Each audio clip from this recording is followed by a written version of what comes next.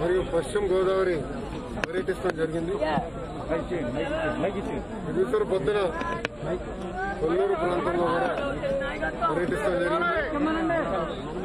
దాని తర్వాత ఢిల్లీ నియోజకవర్గంలో కూడా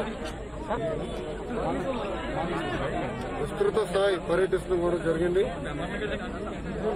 ఎక్కడ చూసినా రైతులు అనేక కష్టాలు ఎదుర్కొంటున్నారు.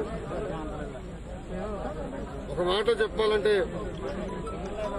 నిండా మునిగిన ముఖ్యమంత్రి నిండా అవినీతిలో మునిగిన ముఖ్యమంత్రి ఈరోజు రైతులు మునిగితే కనీసం వాళ్ళ వైపు చూసే పరిస్థితి ప్రభుత్వానికి లేదు. గతంలో ఏం చెప్పారు జగన్ రెడ్డి గారు? గతంలో ఏం చెప్పారు ఆయన? ఆంధ్ర రాష్ట్రంలో రైతు రాజ్యం వస్తుందని చెప్పారు. కానీ ఈ రోజు ఆంధ్ర రాష్ట్రంలో రైతు లేని రాజ్యం ఏర్పడుతుంది. ఏర్పడు గిట్టుబాటు ధర వచ్చినప్పుడు చేపలకి అదేవిధంగా షింప్ కూడా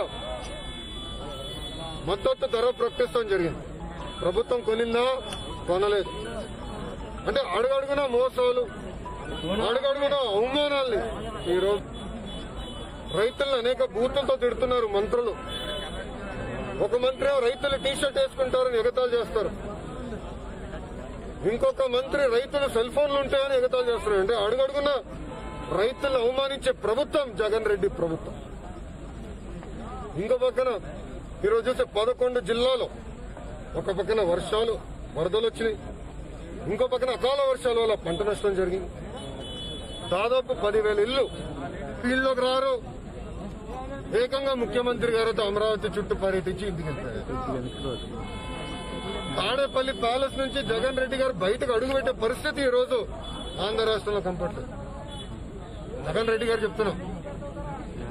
రైతు కన్నీరు నీకు మంచిది కాదు. ఈరోజు నుంచి గత పదిహేడు నెలల్లో ఏడు వందల యాభై మంది రైతులు ఆంధ్ర రాష్ట్రంలో ఆత్మహత్య చేసుకున్నారు. ఒక ఉభయ గోదావరి జిల్లాలోనే యాభై ఏడు మంది ఆత్మహత్య చేసుకుంటాం జరిగింది. అయినా ప్రభుత్వం స్పందించిందా లేదు. ఎక్కడన్నా ఇన్పుట్ సబ్సిడీ ఇస్తున్నారో లేదు. రైతు రుణాలు ఎక్కడ ఇచ్చారో లేదు. ఇప్పుడు మేనిఫెస్టోలో కొత్త అంశాలు పెడితే రైతులందరూ అనుకుంటారు అదనంగా ఇది ఇస్తున్నారని. కానీ జగన్ రెడ్డి గారు వచ్చిన ఎన్ని కట్ చేసి నా మాత్రంగా ఈ రోజు ఆయన రైతులకి డబ్బులు ఇస్తున్నారు.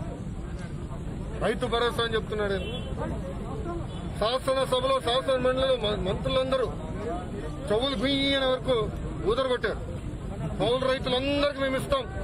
ఆంధ్ర రాష్ట్రంలో పదిహేను లక్షల మంది కౌలు రైతులు ఉన్నారు. వాళ్ళందరికీ మేము రైతు భరోసా ఇస్తామన్నాం ఇచ్చింది ఎంతమందికి యాభై నాలుగు వేల మందికి. అక్కడ ఒక మోసం. రెండోది ఆనాడు జగన్ రెడ్డి గారు ఏం చెప్పారు? రైతు భరోసా కింద ప్రతి రైతుకి పన్నెండు వేల ఐదు వందల రూపాయలు ఇస్తాను. ఆ రోజు రైతులు అనుకున్నారు. ఓహో జగన్ రెడ్డి గారు ఇచ్చే పన్నెండు వేల ఐదు వందల రూపాయలు కేంద్ర ప్రభుత్వం ఇచ్చే ఆరు వేలు కలిస్తే పద్దెనిమిది వేల ఐదు వందల రూపాయలు.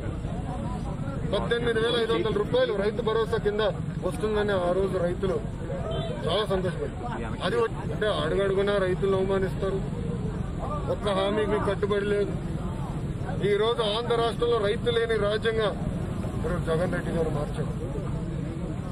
ఈరోజు తణుకు నియోజకవర్గంలో చూస్తే చాలా పంట నష్టం జరిగింది.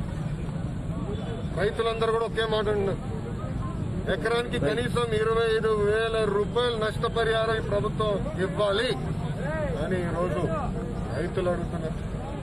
అంతేకాకుండా ఆనాడు జగన్ రెడ్డి గారు ప్రతిపక్ష నేతగా ఉన్నప్పుడు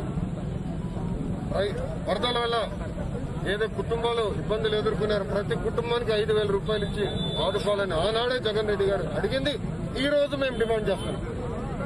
ఆనాడు మీరే అడిగారు. ఇప్పుడన్నా ప్రతి కుటుంబానికి ఐదు వేల రూపాయలు ఇవ్వండి. అంతేకాకుండా నిత్యావసర సరుకులు ప్రకటన బాగా చేశారు ఎక్కడైతే అందలేదు. ఐదు వందల రూపాయలు ఇస్తున్నారు నేను అడిగాను ఇప్పుడు ఉండి నియోజకవర్గంలో. ఒక్కరికి కూడా రాలేదు. ఇచ్చిన హామీ లేదు. గతంలో ఆయన అడిగినది కూడా ఇచ్చే పరిస్థితి ప్రభుత్వం లేదు. దయచేసి అది ఇవ్వాలని అకాల వర్షాల వల్ల పంటలు ఎక్కడైతే నష్టం ఎదుర్కొన్నారో ఉత్పత్తి తగ్గిందో వాళ్ళు కూడా నష్టపరిహారం ఇచ్చి ఈ ప్రభుత్వం రైతులను ఆదుకోవాలి. అది మా డిమాండ్. చివరిగా ఈ ప్రభుత్వాన్ని మేము హెచ్చరిస్తున్నాం. రైతులను ఆదుకోండి. అంతేగాని మోటార్లకి మేము మీటర్లు బిగిస్తాం. మాయ మాటలు చెప్పేసి రైతుల్ని తాకట్టు పెట్టేదానికి మీరు ప్రయత్నిస్తే మటుకు ఉద్యమం జరుగుతుంది. ఆ ఉద్యమంలో ఫ్యాన్ ఇరిగిపోతుంది. రెక్కలు ఇరిగిపోతుంది దయచేసి ఇప్పుడున్నా మేల్కోండి. చివరిగా పశువులు కూడా పశుగ్రాసం లేని పరిస్థితుల్లో ఉభయ గోదావరి జిల్లా రైతులు ఇబ్బంది పడుతున్నారు. గతంలో వరదలు వచ్చినప్పుడు కూడా చంద్రబాబు నాయుడు గారు పశుగ్రాసం ఇవ్వండి అని శైలేష్ ద్వారా అందజేసేవారు. అది కూడా ఈ ప్రభుత్వం చేసేది. ఇప్పుడన్నా దయచేసి స్పందించి రైతులను ఆదుకోవాలని ఈ ప్రభుత్వాన్ని నేనైతే డిమాండ్ చేస్తున్నాను. అంతేకాకుండా రాబోయే రోజులు మీరు ఆదుకోపోతే మీరు రైతు వ్యతిరేక చర్యలు మటుకు తీసుకుంటే ఉద్యమానికి మేము తెలుగుదేశం పార్టీ శ్రీకారం చుట్టుతుందని కూడా ఈ ప్రభుత్వానికి నేను హెచ్చరిస్తాను ఓకే థ్యాంక్ యూ